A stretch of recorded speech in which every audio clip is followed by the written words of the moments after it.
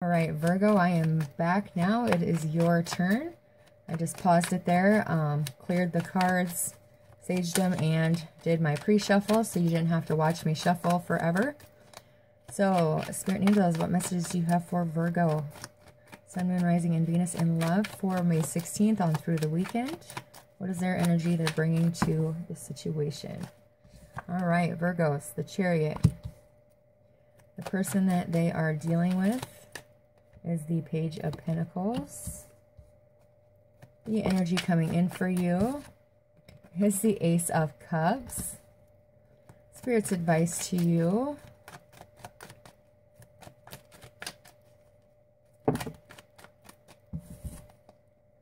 is the world and the two of wands. Wow. And the outcome. What is Virgo's outcome for the 16th through the weekend?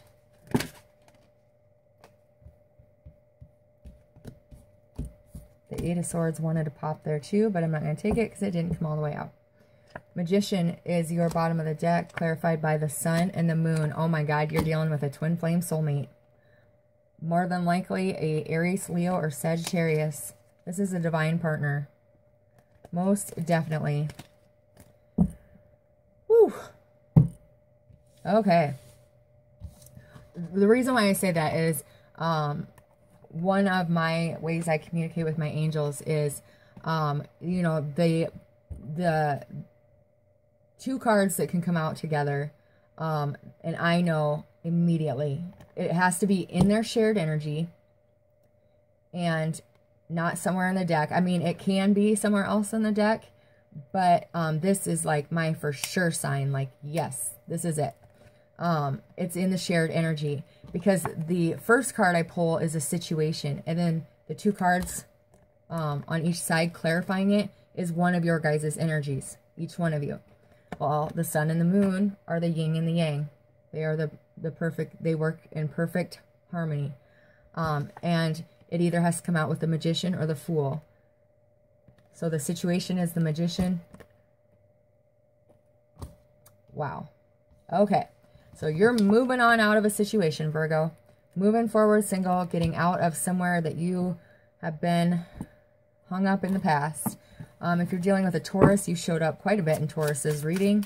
Um, you could be moving forward from that, but if you're not with a Taurus, you're just moving away from a, uh, a person that you have been with in the past uh, more than likely towards a fire sign. All right, let's see what we got here. Why is the chariot here for Virgo in love?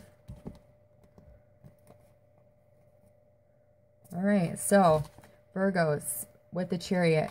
This is um, finally um, leaving that tower moment. Finally getting out of the wreckage and heading out towards the stars to find healing, to find guidance, to find the person that you're destined to be with. Um, you took a long time to decide this. Here you are coming up in the upright. Um, you didn't take this this choice lightly. You spent a lot of time going within, a lot of time thinking about this. Um, a lot of time it took you to see the light, to be enlightened, to know that that light was able to be trusted to move out of the situation you're in and into a better situation. Um, the hanged man is in reverse, so the delay is over. So you have the chariot in the upright and the hanged man in the reverse. Fast movement. The hanged man is delay, pause, waiting. With it in the reverse, it is the opposite. Um, because you have gained your sense of self. You have found who you really are. The Nine of Pentacles has it all um, in here. And the world will soon uh, represent that as well. You are doing what's best for you. And you're moving very quickly towards the fire sign with the Knight of Wands there. Um, it could be a Leo, um, Sun, Moon, Rising, or Venus. We got Gemini, Virgo, Pisces, Cancer, any fixed sign, Leo again. You know what? We got all the signs here, so scratch that. But more than likely, it's with a fire sign. Uh, here's that star card. And no longer being stuck no longer being stagnant. Um, but with the queen being right underneath there, um, it could be uh, a fire sign that you're moving towards. So uh, this person uh, that you're dealing with, they are very cautious. Um, you could have reached out to them. Um, they don't know if they can believe this. This has happened in the past. Um, but you're letting them know that you're no longer stuck, that you have figured out a clear path of where you're going, and you're heading right to the star. You're going to find healing, and this is divine timing. So the energy with this full moon this weekend is going to be that push, that divine, that, um, yeah, the stars are aligning is what I just heard. And it's bringing you this, this opportunity for big love. You know, um, the uh, potential that this relationship could have. And the funny thing is, is the universe says it's a, even bigger than that. So you know the potential and it's even more so because you're both finding love for yourself. The person you are uh, heading towards uh, has been working on self-mastery um, for quite some time. Yep. You're moving out of a situation that has been difficult and moving, allowing your intuition to lead you right to this new abundant beginning in love. Um, this Six of Swords is moving out of that, the rough waters, leaving the baggage behind and um, allowing your inner voice, your inner guide to, to lead you. This, they're, they're by themselves because you see in this card, that is your inner voice. It doesn't have a face. You know, this is your inner guide. And your inner child is um is allowing yourself to hear that. You know why they always say, you know, children can see ghosts and, you know, see spirits, their inner child. So you're allowing yourself to accept that that's your intuition. It's telling you what you need to know, and it's going to lead you to this new beginning. Bottom of the deck for that is Temperance. It's going to lead you back to your twin. In Spirit's advice, most definitely let this era in your life end. This is a big ending, so it's, you know, um, leaving a big job, moving from a big home, ending a, a marriage, a long-term commitment, um, separating something uh, that that occupied a lot of your life in the past, and allowing that cycle to end, knowing that um, that it's over and your new beginning is here. Um, this also means you could be traveling, but uh, Spirit's second card of advice is you don't always have to know where this path is leading. Just know that it's going to lead you to happiness, and there's somebody not in the picture waiting for you to help lead you, to guide you. Um, more than likely, the person that you are moving towards. Why is the world here for Spirit's advice? The Emperor, yep. And the Two of Wands. There's our Divine Masculine energy. Okay. So, Ten of Swords was at the bottom. So leave that, leave all that behind. You are going to leave, are you going to close out this era, this chapter, this, you're not even going to close out the chapter. You're shutting the whole damn book and starting a new one because you're coming in as the Emperor, the Divine Masculine, the Yang, or oops, you know, you're the Divine Masculine or the Divine Feminine. It goes either way. But you're leaving the old you behind and coming into power, taking charge of your life. This advice to you is to take charge, to stand your ground, to take back control of your life, and to allow things to end that you're not happy in. Because there's a path that's waiting for you, a path of happiness, a path of joy, and real abundance in more things than just money. Um, but you have to um, plant your seeds of intention. You have to know where this path is leading you. You have to know where you want to go.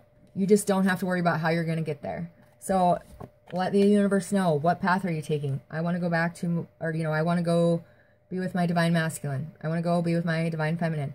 Make sure the universe knows the path you're picking um, and make it clear. Uh, plant those seeds of intention because you are about to step into a huge role in your outcome. Virgos, and through the weekend, you're getting out of your head. You're getting out of those thoughts of feeling like you are absolutely tied and bound to a person of the past forever. You're letting all that go. Yep. You're moving on. You got the chariot card again. Moving away from those feelings and those thoughts of not being able to get out of what you're going through. You are strong enough. You're facing your fear. Why the strength card here? Thank you. All right. Um, so, like I said, you're moving the chariot. You're riding the chariot on out of the. You're you're moving forward. You're taking action because you're no longer stuck here. You're no longer tied and bound to the thoughts that you have no other option. Um, you're going to offer your love to somebody or somebody is offering it to you because the lovers is here and it's blessed by the universe and you are choosing love. You're choosing to get out of a situation that you're not happy in and you're choosing love, big love, with the person that you're meant to be with. Um, you're conquering your own inner doubt, your own inner fears. Um, you are finding the courage and the strength to face your not so light sides and get that balance, um, mastering your own feelings, your thoughts, um, and you are having the strength and the courage to move towards that Queen of Wands again. Um, having a lot of confidence in doing it. Um, just amazing energy for uh, you, Virgos. Finally getting the courage to get out of your head and away from that fear. What came out first, the sun or the moon? The sun did. All right, all right.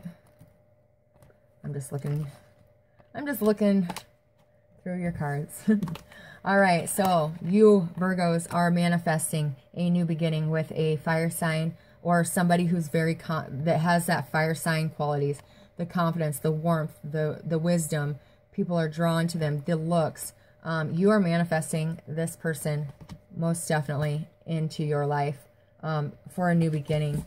The two of you will work with spirit, will um, be that holy trinity, you know.